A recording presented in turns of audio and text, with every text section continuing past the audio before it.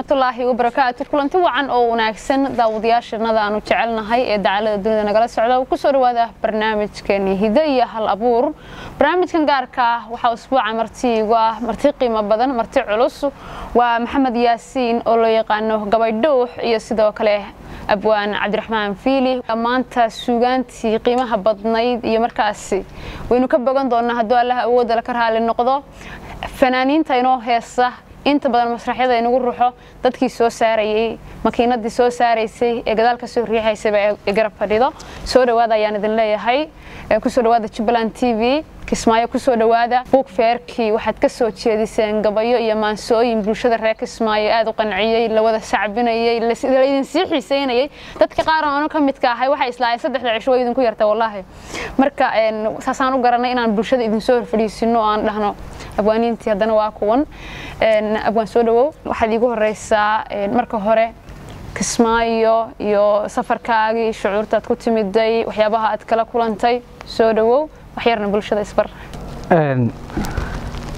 Horta dhowahay laki iyo bahda jubbaland t v aad iyo aad baan idinka mahad celinayaa adna si gaaran khaasan kugu sii mahad celinaya waana ku dhownahay barnaamijka aniga iyo abwaankuba. Aniga waa maxamed yaasiin cali gabayaa soomaaliyeed ahna injineer labadaasaan isugu jiraa labada mihnadood way yar tahay in la arko abwaan ama fanaan ama qof suugaanley ah oo haddana xirfad kale leh. Inta aan ka warqabo maasha allah takhasuska jaacadda baa injineerin ahaa waxaan anugu ku kacaamay oo gobolka sool. Indhowta maalmadooyinka u dambeysay waxaan safar ku joognay aniga abwaankuba xagga koonfurtaan u soo wareegnay waxaan joogay magaalada xamar.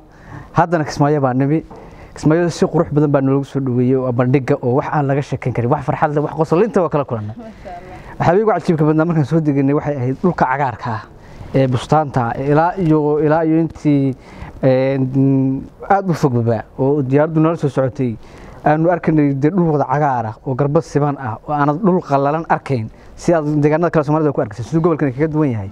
Waxyaabay cajiibka lahaa soo dhoweyntii maamuuskii dadna jecel dhul iyo cirtoona na dhigayn intaasi waa waxyaabihii wanaag ahayd cajiibka ahaa. Waxyaabihii qosolka ahaa ee aanu kala kulannay waxaa ka mid ahayd magaalada kismaayo shilin soomaaliga laga isticmaala aada looga isticmaalaa deegaanada kale somalida waxay kaga duwan tahay. Deegaanka badi doolar baa la isticmaalaa ama lacagta la isu diro. Haddaad meel wax ka gadato waxa lagu sheegayaa doolarka intaad wax ku cuntay. Hataa dasha cabto konton siti baad cuntay shan laatan siti baad rashahaad qabtaa laba doolar rashahaad qabtaa baa lu dhahayaa moogtahay shan markaa gadato boqol doolar dharaad qabtaa waxasaa lu dhahayaa halkan laakiinse waxaa laga isticmaalaa shilin soomaaliga aniga iyo abwaan filim heerad baanu tagnay waanu ka cuntaynay markaanu ka cuntaynay lacagtii baa nalagu soo dalacay lacagtii baa naloo dhiibay rasiidkii mise waxa ku qoran laba boqol iyo toddobaatan laba boqol iyo toddobaatan doolar baa mooda waas fiirinay warba toddoba iyo labaatan baa baanu ku nidhi meed waa laba boqol iyo toddobaatan maanta bishin baa ku jirta baanu siri? Laydi furay mar dambe nagu yidhi waraa shilin soomaali dee wax yarna waa cunay waanu yaabnay meel wax yaraa cunta laba boqol iyo toddobaatan xaggee baynu joognaa marka waxyaaba qosolka lahaa bay ka mid ahay aan ku aragnay meel nolosheedu aad u sarreyso maciishadu wanaagsan tahay jawigu wanaagsan yahay nafta iyo ruuxdaba u roon dad wanaagsan ay ku nool yihiin baanu kismaayo kala kulan aad baan ugu faraxsannahay maasha allah aad baad u mahadsantahay abwaan soo dhawow baan annaguna ku leenahay abwaan cabdiraxmaan fiili. Soo dhawow. Ilhan waan dhowahay aad baanad mahadsan tahay adiga iyo howlwaleedada jubbaland t v. Waxaan ahay cabdiraxmaan fiili. Waxaan ka yimid jigjiga. Socdaal dadbarashaa iyo dalbarashaa baan ku jiray bilooyinkii ugu dambeeyeyba. Waxaan hadda joogaa oon deganahay xamar. Waxaan nasiib u yeelan anagii abwaankuba in lagu soo casuumo carwada caalamiga ah ee kismaayo international book fair runtii kismaayo si wacan baana loogu soo dhoweeyey si gobonnimo leh baana loo marti sooray. Waxaanu kula kulannay dad qalbi xaadhan oo ay ku weyn tahay soomaalinimada.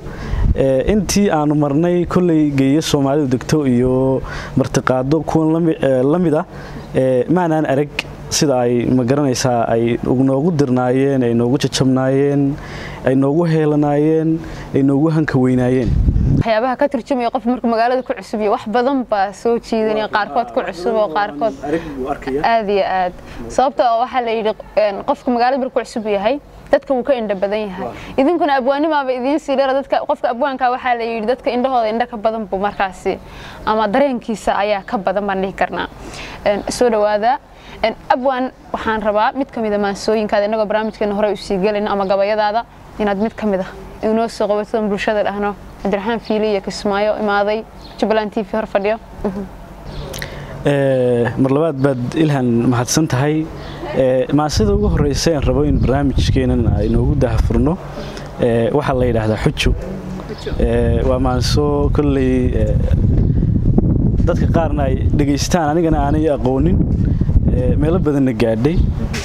Maansadaasi waa maanso dardaaran iyo hoga tusaaleyn isugu jirta. Waxay gaar u tahay haweenka bay yidhaahdaan laakiin raggana waa ay u wanaagsan tahayoo ninkii gabadh noocaas u raadsanaya. Gabadhiina waxay faraysaa inay noocaa u ekaato. Marka maasadaas eh, waxaan sameeyey oo coratay labada kun iyo afar iyo tobankii laakiin waxaan muuqaal u sameeyey labada kun iyo lix iyo tobankii eh, maasadaasaan jecelahay in ay noqoto taybafurka inoo noqonayso ustaad. Maasada waxay ku bilaabaysaa ina leedahay? Xijaab ku dabool jidhkaaga. Asturo xubnahaaga qaawan ha tusin ragga xaadda jiifta. Xirbaha iska xiirin dayso. Ha xidhan dharka reer galbeedka. Xishoodka ha tuurin fiican. Ha xaman ruuxnee inaabti u boqo iilkiyo xabaasha. Iblays xeradii ha aadin xumaan iyo cay ha doonan dhadhaab xanxantiinta jooji ku xasil diintiyo qur'aanka. Jidhkaaga xareed ku joogta xaddaa dhabankaaga teedsan. Xubnaha eebbahay ku siiyey xiskiisu nimuu fayowyey xaqiiqdii wuu jeclaane xayisiintuunka dayso adoo heli kara xalaasha adoo heli kara xalaasha xalfadda guurkiiyo arooska adoo xaragoon karaya maxaa xaska fiid ku joojay? Rag baa jira xaasidiin ah qalbiga kaa xadi ku iibsan xariifiin baa ku raadsha xirfado gaar ahna yaqaanaa xayraan baa kugu wareegsan adiga kuu sitaxjiimo waxaad xulataa nin diin leh xamdiyo tukadoo salaada xakiimkiisana yaqaanaa. Qudhiisa ninkii xisaabsha ninkii xoolaha agoonta xaqooda ilaalinaya nimaan aadmiga xumaynin nimaan ximin ruux tis qaaday nimaan xaasidin walaalka xaaraanta nimaan ku dhiiran la jaar ninka xeer yaqaanaa xamaasad intay ku qaado qabiilaysi iyo xigtaysi ha raaci nimaan xadlaynba maalkiiyo xoolaha adduunku xaqiiqdii way gudhaanee ninkii qaadaya xilkaaga ninkii xolo kuu qalmaaya. Adoonku xabeebin gaalka ku xidhmin filimada khiyaalka. Adoon xadhigooda haysan dadaan ku xusayn laftoodu axdiistii xifti adkaarta. Ninkaaga xormee wanaaji xaqdhowr oo sii kalsooni xaqiisa garoo ilaasho xanaanee oo hadayrin u xifti sirihiisa kaydi u noqo xidiguu ku faano. Ayuunkaa caban xigaalku ayaan lagu dhihin xisbeela garaadaran xumo qorsheeya rurnacab garashada xabaala xintama keligeed abraara iskeed iska xiiqa daala fudfudud xoofiya dabaysha ayaa lagu bixin xishooda xayaabo ku beer ardaaga xambaar ubadkiiyo dhallaanka naaskana xilligooda nuuji. Intaad xasho weelka maydho guriga xaadheed sifayso ku shida xasiloonni uunsi indhaha kuuloo xinayso dharkana xidho kuu carfaaya. Markuu xaajigu yimaado ha galo xaaladaha jacaylka xusuusta ha aada meel fog ha tago badda xeelligeeda ha maro meelu xidhay ilwaadku. Ha daawado xidig ifaaya xaniid iyo hilib la shiilay. Ha cuna wuxuu yidhaahdo maasadu intaasay ku idishahay? Maasadii xujo wataas. Cajiib waxaan odhan karnaa way ekaysayba dhammaan waano iyo waxsheeg talo gabadh la siin way u dhan tahay. Talo gabadh la siin lahaa ayay qodobba kamayn tegin xataa kuu tegin sheego ninkiina wuxuu raadinayaa gabadh noocaas oo qaryadaas inay gabadh sidaas oo xijaabanoo Aad iyo ninkeedii jecel oo carruurtii wanaagsan oo gurigii wanaagsan nin walba uu jecel. Gabadhii qaryada la odhan jiray berigood gabadhu markay gaarinimo iyo qiimiba isku darsatay dadnimoba iyo dabciwina Waa- waa heerka ugu sarreeya gabadh lagu qiimeyn jiray. Dhabeel iyo gaari iyo way ka sarreysa si wanaagsan. Eh, maasha allah abwaan maxamed yaasiin gabaydhuux soo dhawow mar kale iyo mar saddexaad Eh, maasha allah Eh, maasooyinkaada iyo gabayadaada aad bay markaasi u dareen badan yihiin. Dhammays laftirkeedu ma gabar baa waxaa la leeyahay dhammays way ka dhan tahay miya? Mise?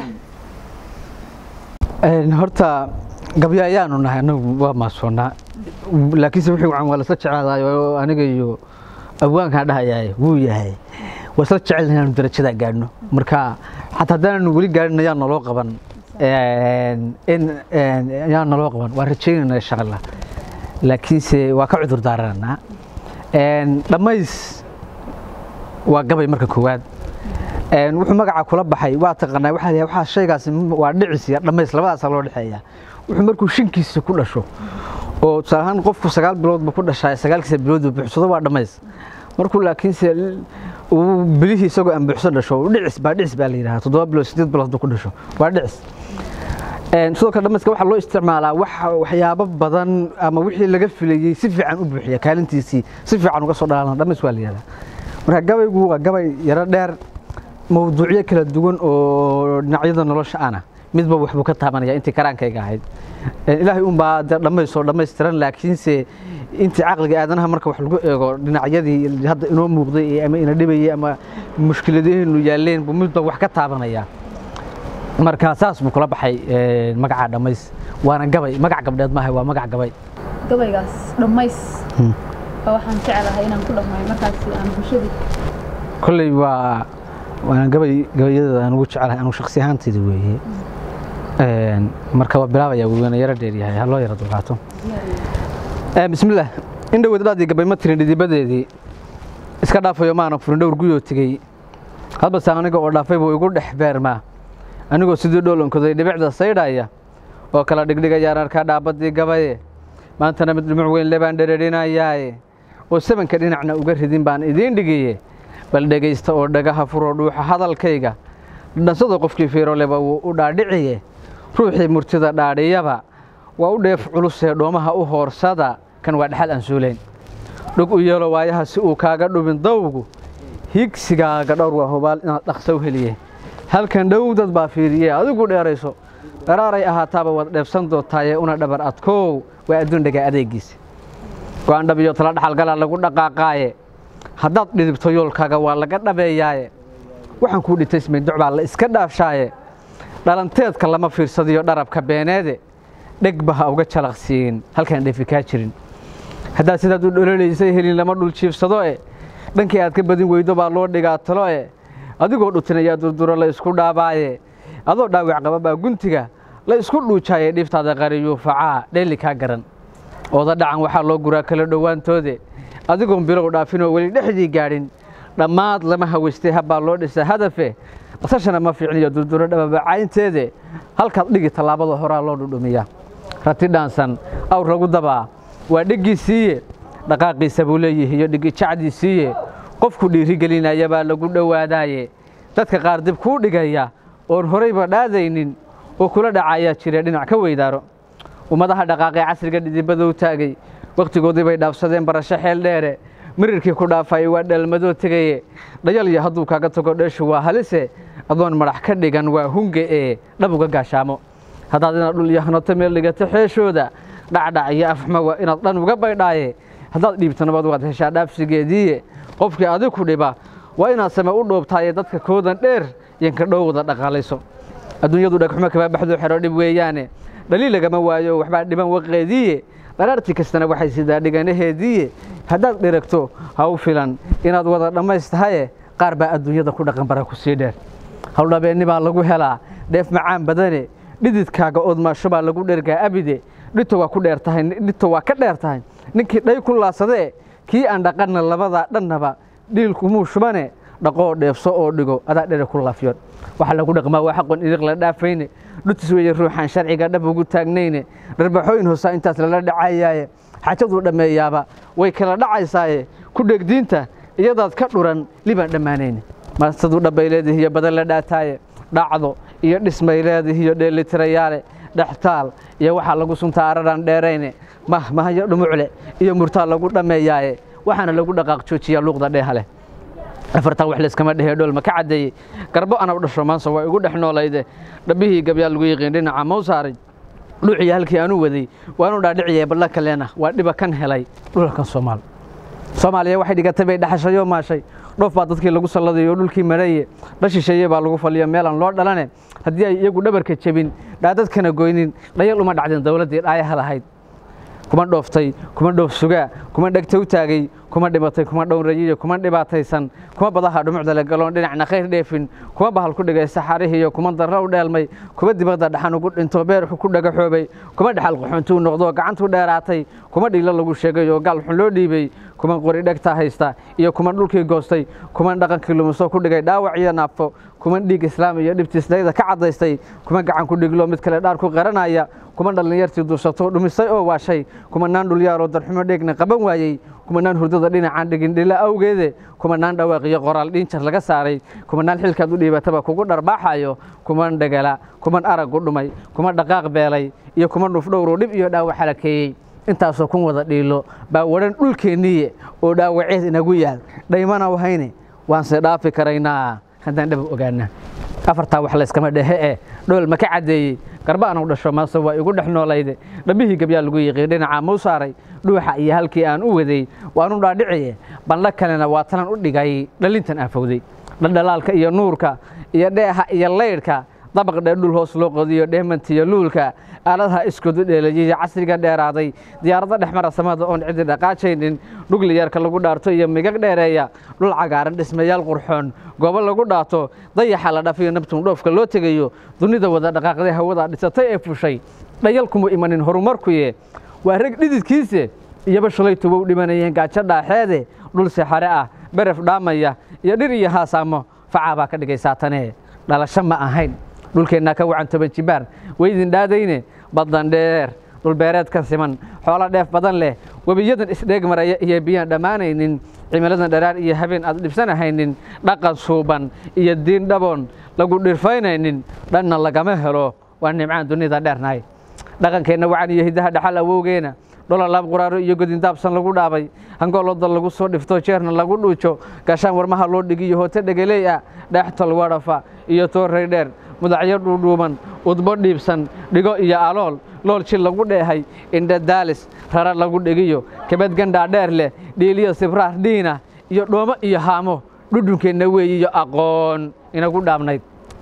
Dharjajalaqa dhaadheer askaxa darandhanaan weyn leh dharkayn iyo dholool iyo galool dhamas caleen weyn leh dhafaruun bislaatiyo madheen gomasho dhuubaan leh xagarkaa dhuduhu uu galiyo dhabi magool weyn leh gure dhaaban lebi dhumuc leh iyo wacarri dheeraatay qasaxa dhabnaha laga heliyo gasagastaa dhooban dhumayg iyo dhurbaha iyo dhammaan baacug iyo taacug dheecaanka hadigiyo xabkaha buxurka uu dhiiqo dhidinka iyo beeyada caleed dhirindhirkaa buuxa intaasoo dhir wada kala anfaca baa wadhan dhulkeenniiye yagoon dheefsannaa inagu filan dhudaha soomaal. Dhulkeenna aamino dhisashadiyo dhaqashadow baydha iska dhaaf qabiil oo midnimo dhidibada u taaga isa soo dhowaysta oo dagaal dhaafa hadalkiisa dhiga qoriga oo dhima qatliga oo dhigashadow baydha dhaawaca jahliga oo aqoon dhayaheedoona dhexda u xidha dhulka horumarkii waad dhargaysaanee gacmo wada jiraa guul dhashe eh yaa idinkala dheelmi bay ka dhan yahay dhammays. Waxay ahayd wax cajaayiba run ahaantii. Aniga waaba la dhaygagayba asagaaban dhayga ku bixin lahaa maasha allah waxaan aada uga helay markaad dhiici iyo dhirti iyo magoolka aad dhirtii sharaxaysay run ahaantii qaarkood aaban iloobay igu dambeysay magacooda toban sano ka hor aad isoo xasuusisay. Maasha allah wax qurux badan bay ahayd. Dhirtaas abwaani gabaygabaad ku soo dhammaysay wixii oo dhan dhammays ah. Haddana manafacaad badan baa dhirteena laga heli jiray. Waxaa taariikhaha lagu sheegaa inaan in hindiya iyo waddamada caalamka aan u dhoofin jirnay fooxa aan markaasi malabkeena la dhoofin jiray waxyaabo badan ganacsigeena inuu ku tiirsanaa inaan dhirta soo saarno. Absolutely. Hadda maadaama adigu dadka ka gabiyey ee u fiirsaday ee dhex galay tahay ka waran ifafaalada ah bulshadii iyo dhirtii ma isleedahay aleelahay weli hanbaa bulshadii ku jiro inay ku laabato ay soo saarto xoogooda maasho. Waxaan garanayaa ayayday waxay igu tiri xoolaha waxaan ka sameeyey bay igu tiri harar harar baan sameeyaa waan iibiyaa haddaan harar kalaan sameeya waxaan ku iibinayaa waxay tiri waxaan ku bedelanayaa ari. Say u wada wada wada geel ka samaysay marka akhiirankii marka taariikhaha noocaas dadkeena wuxuu dad gacantooda maalo. Marka hada ka waran bal bulshadeena wax yar iyo cabir. Horta walaale haddaynu ummadda soomaaliyeed nahay xilligii hore yacni ummad goba baynu nahay gob markaan ku leeyahay waxaynu nahay ummad isku filnaansho haysataa isku filnaanshuhu keliya maaha inaad dabaqyo dhaadheer iyo daaro iyo wax leedahay. Haddii aad noloshaadii bulsho iyo taadii shakhsi ahaaneed iyo tii qoysba ay ummaddaasi daberanayso oo ay nolol casrigeeda iyo xilligeeda iyo wakhtigeedaas ka bilan ay ku nooshahay oo ay iyadu leedahay waa gobonimo taas ummad goba baynu nahay. Ummad hugeeda iyo hogorkeeda iyo hungurigeeda iyo hoygeeda intaba iyadu le bay ahayd. Intaba iyadu soo saarata bay ahayd. Maanta waxaynu soo saaranno male tusaalaan dhirtaasoo kale yani kama waa ka tegey qaybo kale khudaarta iyo dalagyadii iyo kuwani waxaa inoo dameeya keliya dhirta kale aan la beerin ee dabiiciga ee dhulkeenna ku taalla waxa ka soo go'a ama aynu daawo ka samayno ama aynu xabkaheeda iyo fooxeeda iibinno keliyaba inagu filan haddii aynu soomaali nahay. Laakiinse caqligii soo saari lahaa oo ka faa'iidaysan lahaa ma jiro caqligaasi. Yani dhulkeenna ilaahay nimcada u dhigay waxa isku sii cid isku haysata ma jirto. Hadday tahay bad hadday tahay berri hadday tahay deegaan waxaynu leenahay badda afrika maxeeb ahaan ugu dheer baynu leenahay baa la yidhaahdaa. Talabaada ugu dheer baa la yidhahdaa waxaynu haysanaa baddaas ganacsiga dunida oo dhan badidiisa waa badda u maro oo baddeenaasu maraa sababto waxaan taana keenaya sagaalka iridood ee dunida laga galo afar ka mid ah afar ka mid ah ama kanaalka hormos suweys iyo baabul intaba meesha ganacsiga ka dusayay waxa uu maraa baddeenaasu maraa. Sagaalka iridood dunida laga geli jiray afar ka mid a baddeenaas buu maraa ganacsiga ka dusayay kalluunka dunidu waxaa la yidhahdaa afar meelood buu haajiraa oo isugu tagaa oo xabad walbo kalluun noolba ama markay xamilo tahay ay tagtaa ku soo dhashaa xilli nolosheeda ka mid a ku soo qaadataa waqti. Waxaana keenaya cimilada iyo jawiga halkaa ka jira bay doonataa oo ay aadaa afar meelood buu dunidaba u haajiraa waxaana keenaya waxa la yidhahdaa abwelin phenomena oo mawjadaha aadka isu laba rogaya ayaa waxyaaban nafaqooyin oo gunta badda hooseeyaa la soo dhoweynaya nafaqooyinkaasi kalluunku jecel yahay badaha kale male afar meelood baa dunida kale. Meel gaara innaga iska oo halkaa labada badood iskaga darsamaan bay ku taallaa cilmi ahaan badaha afrika marka la qaybqaybinayo shan baa lasu raxraacya marka haddii laga hadlayo khayraadka ku jira istaraatiijiyadda meesha kaga taallo noocyada kalluunka laga helo waxyaabaha marka laga fiirinayo shidaalka ku jira guud ahaan ganacsiga suuska ka kalooshooso geopolitic ahaan meesha ku taallo iyadoo loo fiirinayo. Afrika oo dhan shan badaheeda marka la isu geeyo shan bay wada leedahay. Shan nooc inagu mid aynu gaar u leenahay jira. Afartaa mid gaar inagu toos u leenahay. Oo yacni wax khayraadkeedu u dhammaystiran yahay istaraatiijiyadda gaarka hale halbowlaha ganacsi kalnoocyada kalluun ku jira. Kalluunada dunida ugu qaalisan afar boqol iyo xogaa nooc baa kalluun baa baddana ku jira. Oo ah nooca ugu maguugsan ee kalluunada dunida ah. Waxaanu leenahay laba webi oo dherarkooda jubbo iyo shabeelle midna kun iyo hal boqol oo shabeelle ah dhowr boqol ah kana waa wax kun ku dhow sagaal boqol wax ku dhow jabaadan aan hadda joognahay waa laba kun oo kilomitr wax ku dhow oo nooc walboo dalag. Haddaba sokor ama beriis haato ama ama sarreenka noocyada kale ha noqoto noocaan ka baxayn aana jirin. Baynu haysanaa. Waxaynu haysanaa oo idihii rihii isugu jira ishkinkii oo fardihii oo isugu jira baan leeyahay lo'dii iyo geeli isugu jira iyo gamaankii iyo fardihii iyo dameerihii isugu jira iyo haddii rabbi kuusama golaya digaagii intiiba dalkeena ku dhaqan yahay lagama helo waddan inta ku nool yihiin. Macdanihii qaaliga ahaa baa ku jira oo hadday uranium tahay hadday dhuxul dhagax tahay hadday kobar tahay hadday naxaas tahay hadday tiin tahay nooc walba macaas baa laga bacaadkaa shan boos keliya aan ugu filan. Waxaa laga helayaa tobanka dhagaxa dunida ugu qaalisan wax jimstonska la yihahdo sideed ka mid a dalkeena waa laga helayaa baa la yihahdaa waxaa hadda adarka soo ama hayad isku sheegaya ama qolyo isku sheegaya wax kale ma guranayaan dhimcadaas intaa waxaa sii dheer xabagtii dahabkii waxa oo fooxa oo kuwa haddaan sheegaya oo fooxe iyo bahalka yarka ahaa oo dunida waxyaabaha ugu qaalisan oo ay adeegsadaan ah looguna jecel yahay ama lumaanta baynu haysanaa de ummad intaas wax ah intaas oo wax haysata haddana ka ardan baynu nahay laakiinse ka qatan baynu nahay. Faqriga halka u dambeeya ka joogta dunida baynu nahay. Marka ilaahay khayraadkeena haynaga dib baynu ka xumaanay. Berigi hore ummad khayraadkooda ka faa'iidaysta bay ahayd. Intii markaa uga cuntatee maanta ilaahay ka dhigo. Gabayguna markaa waxaas buu wacyigelinayo lahaa warar dalkiina ha la aamino. Waddamada yurubta qurquruxda badan iyo daaraha dhaadheer rag baa tabcada idinla mid ah. Iskama dabiici sidii geed ma soo bixin. Bal e noloshu way ku agtay dhul saxare ah ama dhul beref ah ama dhul buura ah oo dhulkeenna aan- oo nololba ku habboonayn bay nolol ka dhisteen oo saa u ekaysiiyeen. Dhulkeennana si yaroo fudud baynu heerka iyo heer ka weyn ku gaarsiin karnaa. Haddaynu tus- isu tashanno midnimo dhulkeennana aynu aamino aad iyo aad aad baad umahadsantahay abwaan cajiib bay ahayd waano iyo talo iyo waxsheeg wanaagsan. Abwaan cabdiraxmaan fiili aadaan kugu soo laabanayaa shalay waxaad tagteen deegaanka goobweyn oo idinkoo kabankiinii wataa dalxiis u tagteen.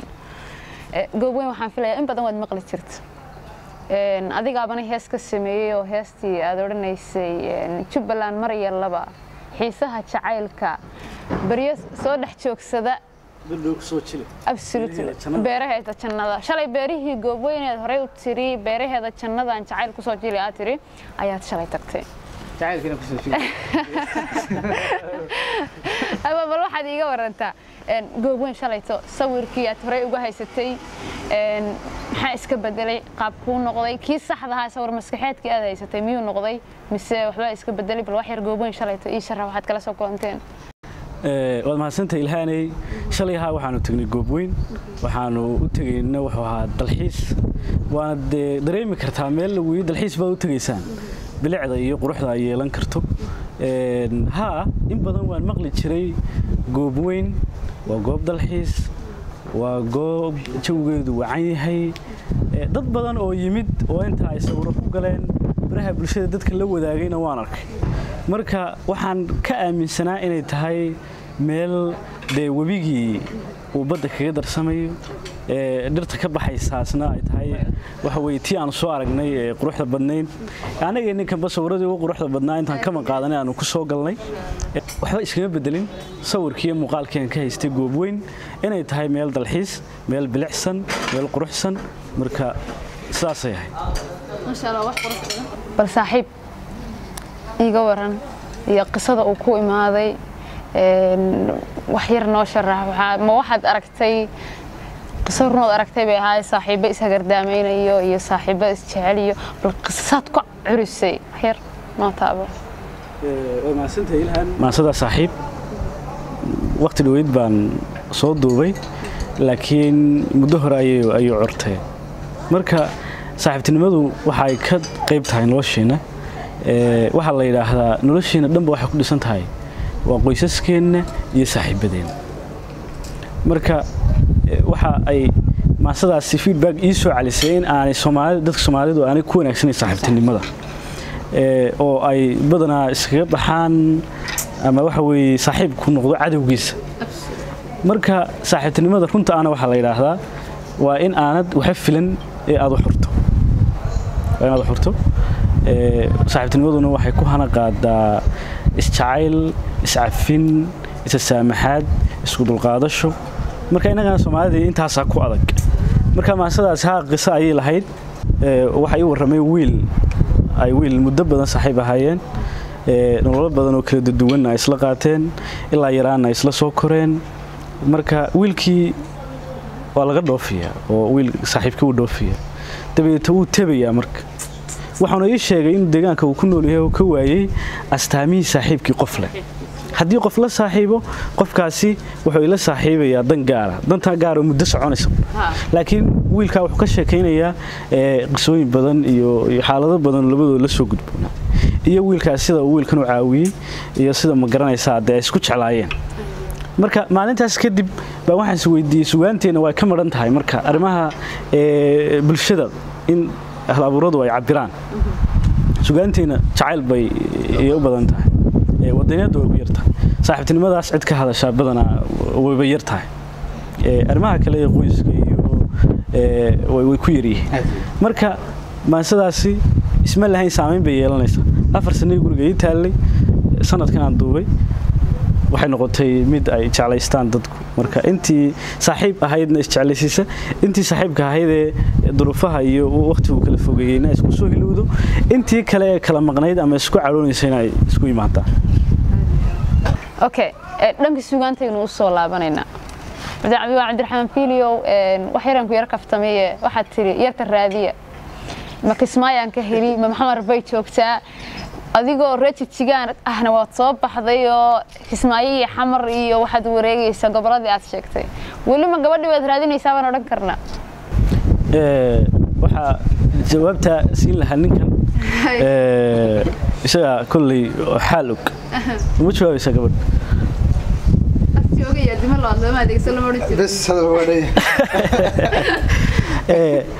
ilhaaney kolley heestaas waxaa qaada suldaan waxaana ku timid eh, warasyo badanoo horena waan ku bixiyey. Sikadiisa bay ku timid marka heestaasi markii soo baxday suldaan wuu todoba baxay isagu dee ma garanaysaa uu reereeyey haa aniguse ilaa hadda weli doobaanahay marka dabcan haa ilaa gabadhii inaan raadinaya unbay unbay ka turjumaysaa Een, deegaanada aan soo marnayna de kolley waxaa degan dad soomaaliyeed. Gabdho soomaaliyeed oo qurqurux badanna way joogaan.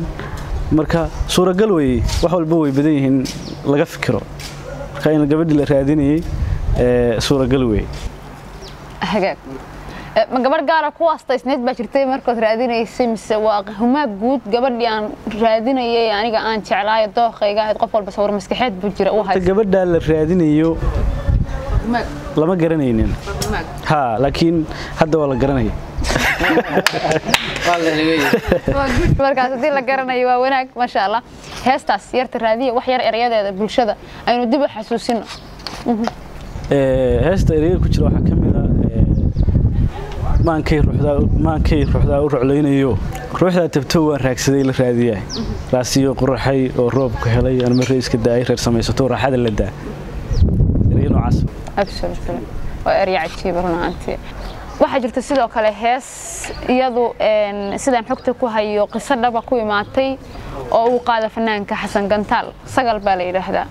Heestaas qisadeeda wax yar noo taababaan Ee, waa run heestaas qisay ku timid. Waxaa jiray wiil. Wiilkaas markaa reer buu leeyahay.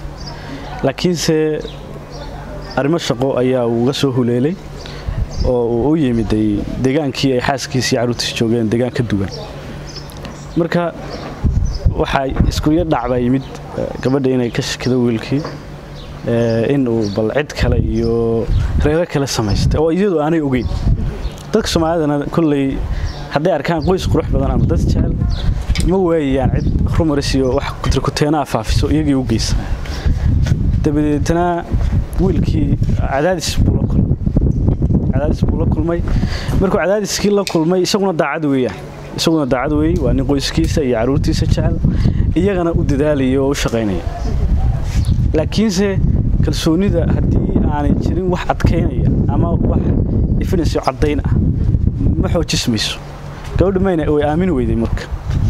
Isagoo ku qasban inuu ka tago shaqada iyo waxan oo uu halka ay joogaan ugu tago si ay bal u aaminto oo ishi baxdo ayuu anigu boorama joogay soo wacay.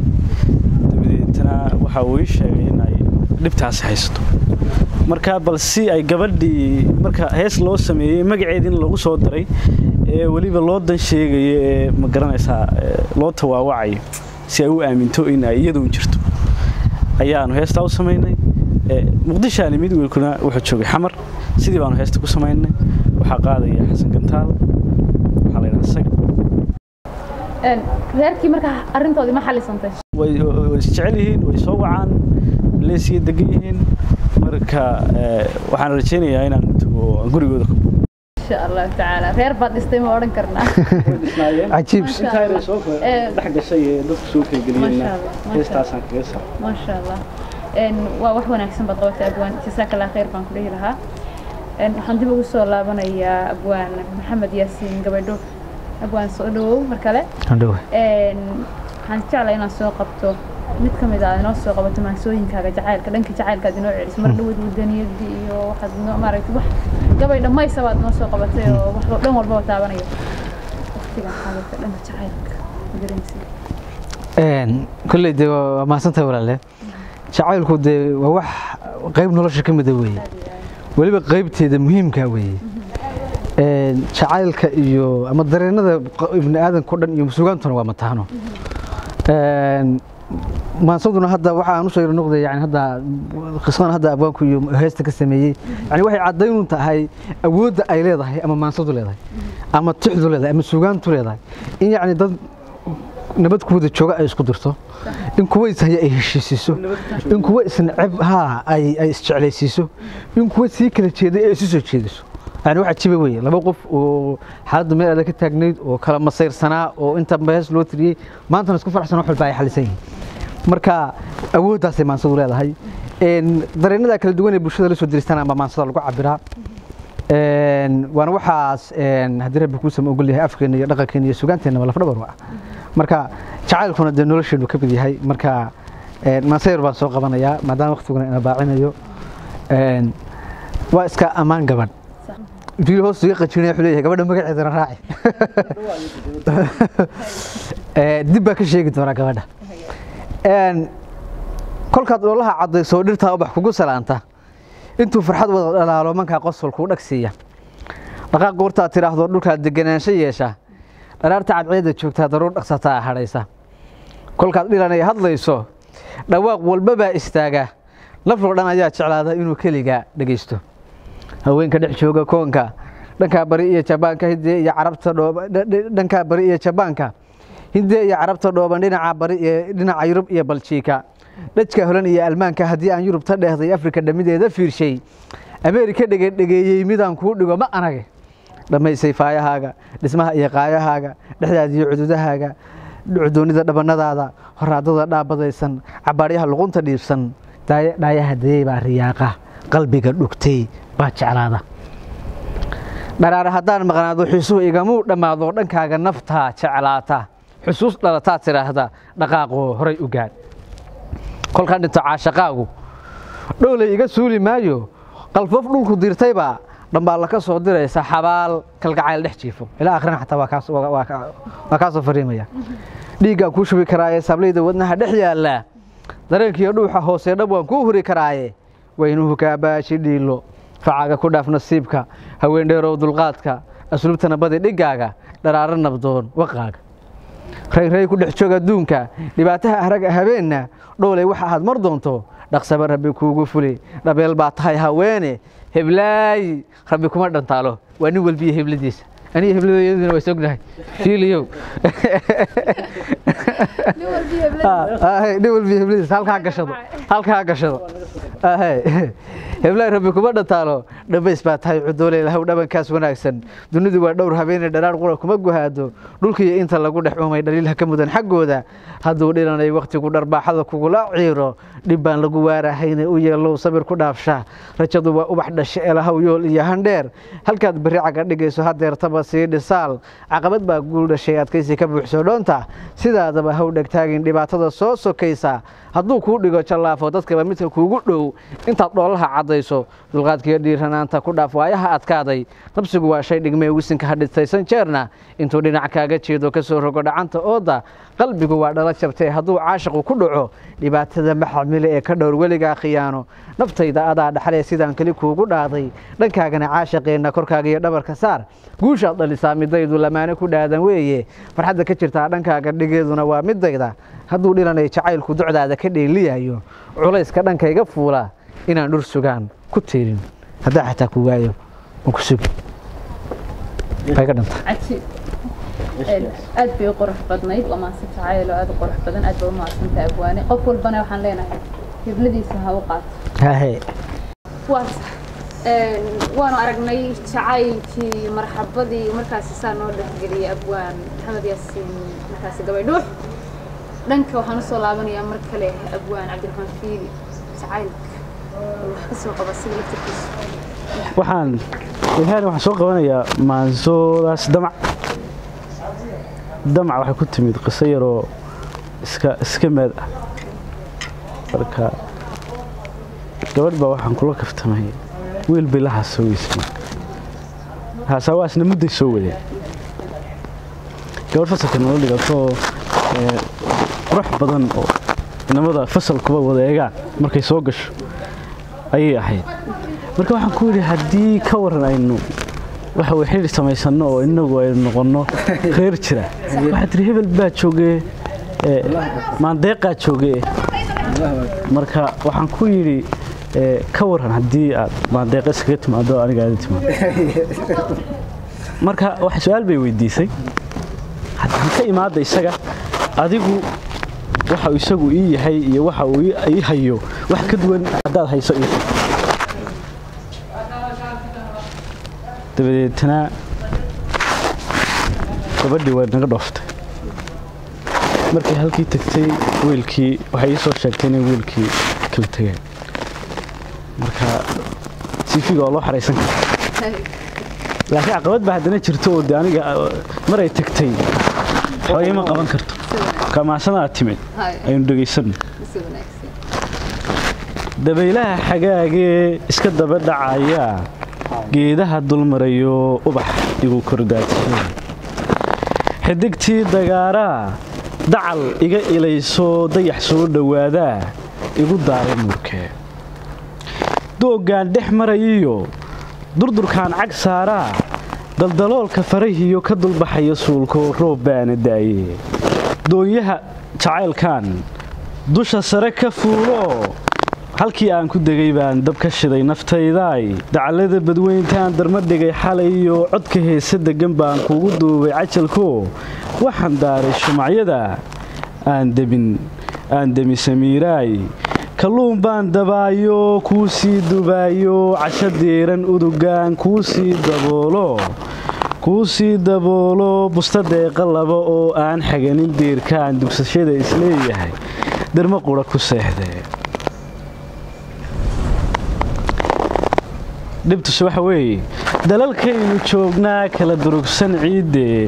Isku duubnideenna dadku yaabi laayo booqashiya dalxiis baan.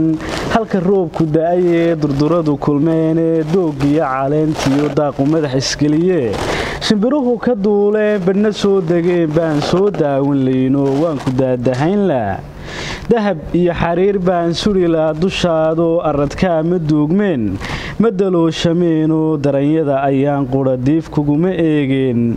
Muran hay dambeeye kuma ducoduceeyeen muran hay dambeeye kuma aanan doodneen shay guriga dumiyo anigaan ka daaheen waxaad ii dirtaba oo muujin laa dulqaad iyo dabacsani xaddhaafo ismabaan dagaalnin dilma kuuma quudheen dilma kuuma quudheen abidkay dushaadana nabirkama dilaacsheen adeeg iima doonteen anigoon dallaayado adisidin dushaado dowga maad lugayseen. Kolkii aad yardaashana waan ku duugilaayo diiqad maabad aragteen goortaan dibadda aadaba hadyad aan diyaarshiyo waxaad dooqa jeceshoon ku soo duubay ubax baan degdeg kuugu kadilaa yaa yidhi daweeyaay dumarkoo qudhaataa dabka loogu talagalay. Subax subax subax subax daryeelaay cunto aan diyaarshaan kuu soo duldhigilaa miiska deeqa laba ruux oo isdaawan kara muuq isdawaysan kara maan isdaryeelan kara goor isdoondoonan kara mee oon dagaal is odhan dood oon dagaal is odhan maag oo aan murmayn dood isku soo durkana laab isna doojin kara xoog oo aan dabrayn maal dejin kara intaa xaal daacadnimo ka shawtaal iska tira intaa daal isdul joogi kara fool oo aanan dayn hiil dunidana ka galay baal oo dadaal u mara yool damaashaad u tega meel maanka looga dayaqil markaad intaas u tirisay? Maxaa ku xigay dumarka dadka beezaaniga rag beezaaniga aad bay u jecel yihiin in walba waxaa tiri xataa yaa ugu talagalay dumarka inay jika galaan baa tiri. Subax subax daweeye hurdaba jikada lagu gelayaayo wuxuu diyaarsan ba cunto fudud lagu soo samaynaya intaasoo dhan. Gabdhuhuna way jecel yihiin. Absolutely hebel waa romantic bay dhahay. Aad iyo aad. Markii- waryahaasaan soo gala markii aan yaro baxaba wax baan wax baan ku keeni lahay hadiyadaan diyaartay. Wixii ha marka een, macnaha ka soo laabtay oo si fi wanaagsan baa ka laakiin gabadhii way soo noqoshadeeda dee waxba kuma yaalaano xilli bay. Marka ah, waxaa jira xaalado iyo dareenno xilliga ay taagan yihiin ku qurux.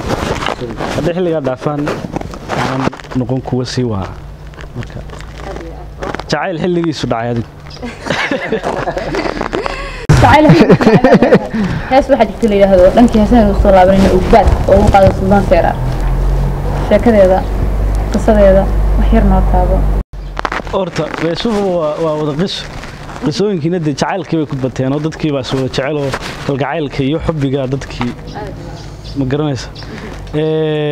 Heestaas ugbaad ee, waxaan u sameeyey gabadh ku nool cariga maraykanka marka iyada islama ismaana xidhiidhin muuqaalkeedana maanan arag laakiin wiil ay iyada isla haasaawaan ayaa la soo xidhiidhay. Marka wuxuu yidhi walaalow waxaan rabaa gabadh noocaas u eg.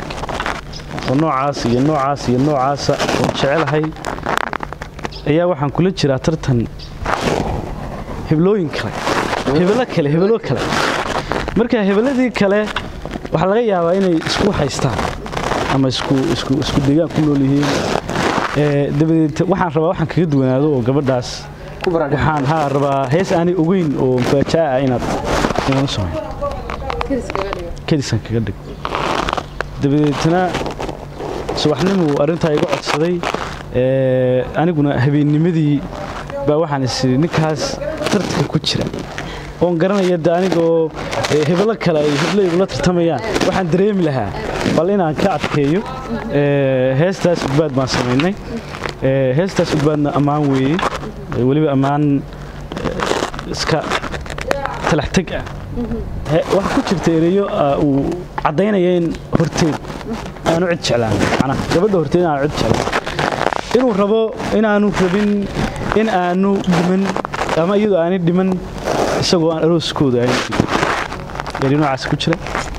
Suldaan baa qaada laxanka waxaa saaray dable ee, musica henok weye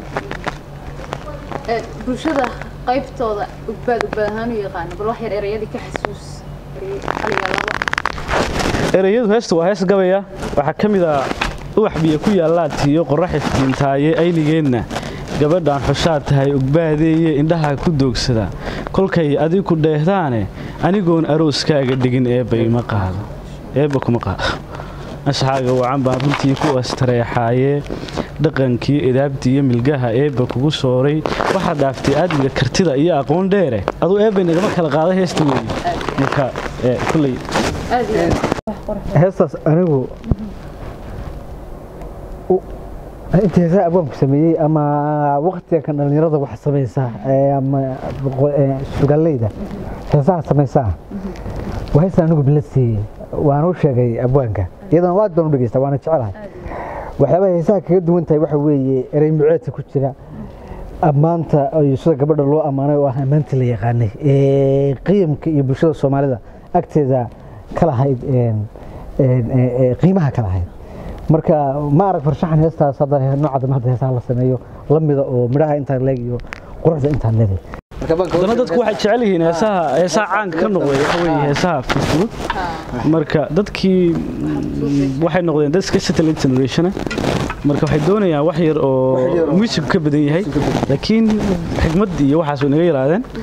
Fanaaniintiina waxaa laga yaabaa inuu abwaankii hago oo uu dhaho. waxaan doonayaa inaad ii samayso eryo nooca noocaas oo wallaahi bilaahi ay ku jiraan wax noocaa abwaane iyadoo saas haddana waxaa jiro weli heesihii horaa la jecel yahay oo ereyada cusbaa iyo waqtigooda ma dhacaan. Baa la jecel yahay. Maxaa ugu wacaan oo is leedahay kuwa haddana waxay rabaan kuwa fudfud kuwa horena waxay ka rabaan kuwa hore.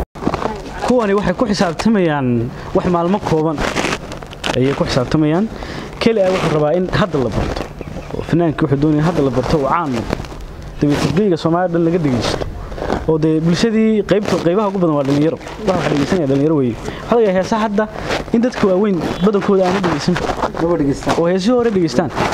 Ee, waxa qasbaya marka isagu wuxuu ku xisaabtamaya dhalinyaradan dhegeysanaysa laakiin haddii uu fanaanku uu- ku fikiri lahaa waxaagan wax cimri yeesha ha noqdaan. Oo waara. Oo hadhow ha lagu dhegeysto waxay noqon lahaa wuxuu ka fikiri lahaa ee, wuxuu u tegi lahaa abwaanba abwaanku ka eriya culus yahay wuxuu qaadan lahaa heesba heesta ka eriya culus. Haddana heesba heesta ka eriya liidato buu ku leeyahay waan qaaday marka haddii fanaaniintii hore waad arkaya oo hees la qaaday afartan sano ka hor weli xiiseedii inagama dhammaanin waxaa sabab u ah dareenkeeda iyo fariintii gudbinayso iyo farshaxankeedu way is wataan hadda waxaa laga yaabaa inuu miiska qurux badan laxankiina qurux badan laakiin aragtidii ay gudbinaysay aana kaa fikirsiinba weydo ama duruufku haystay xalinba weydo. Marka waxyaaba badan baa sabab. Marka waxaa leedahay abwaanadii nahay waan samayn karnaa suugaan saas oo culculus samayn waan samayn karnaa ma ahane waaba samayno guryaha noota laakiin miga rabaan. Hadda waxaad arkaysaa ee, waxaa lagu waxaa lagu qiimeynayaa qofka ee, magaca uu leeyahay laguma qiimeynayo waxa wato taasaa sababaysa in qof kasta uu uu u baratamo ee, ma garanaysaa suuqa caannimada. Suuqa caannimada u barato. Marka fanaaniinta waxaan kula talin lahaa si ay hadday ay rabaan in waxoodu raago oo qarniyo la dhegaysto inay tayeeyaan oo aan ka fikirin hadda balse ay ka fikiraan mustaqbalka. Aad baa mahadsantahay abwaane. Waan kuu soo noqon doonaa. Waxaan u soo laabanayaa abwaan gabaydhuux gabayadaada iyo maansooyinkaada maanta de bulshadu waxay sii jeclaanayaan welise sii horfadhino xilligaasi xaadirka oo maaragtay labadiinaba aan suugaantiina iska falanqayno oo wax badan ay fahmaan. Midda labaad bulshada anigu ka mid tahay waxay jecel yihiin abwaani fanaaniintii heesi jiray dadka ka dambeeyey iyo heesahooda iyo qisada iyo falanqaynta. Waxa ugu badan ay aadka u jecel yihiin. Een, abwaan gabadhuux waxaa jirta maanse la yidhaha dareenla dareenla qisadaas magacaas dareenla baa aniga dareena geliyay. Sida ku imaatay qisadaas maxay tahay. horta waa wadani waa maanse wadaniya Een, waxay ku timi xilli xilliyada ka mid ah waxay ahayd labada kun iyo labiyo tobankii. Waxaa socday xilligaa shirar soomaalidu lahayd oo lagu heshiisiinayo oo dhismaha dalka qayb ka mid ahaa. Een, waxaa cajiib ahayd tv habeen baan anoo suuqa jooga baan tv daawaday meel suuqa ka mid ah. Meherad yaalla maqaaxi laga shaaho tv yaalla. Koob shahan meesha ku cabay waa daawaday war baa soo galay. Warkiiba waxaa ku jiray shir ka mid a shirarka soomaalida dib heshiisiin lagu heshiisiinayo buu ahaa. Shirkaas cidda soomaalida heshiisiinaysay cidda siisa waa soomaali. Laakiinse wax iga yaabiyey waxay ahayd oo dareenkayga dhaqaajiyey cidda heshiisiinaysay inay ahayd tii shalayto isku dirtay tii shalay dalka ku shidasay tii dalkeeda ku soo duushay tii burburinaysay tii cadowgeeda koowaadba loo arkayeybaba inay haddana isla iyagii leeyihiin. Waanu heshiisiinana waanu sukinkeena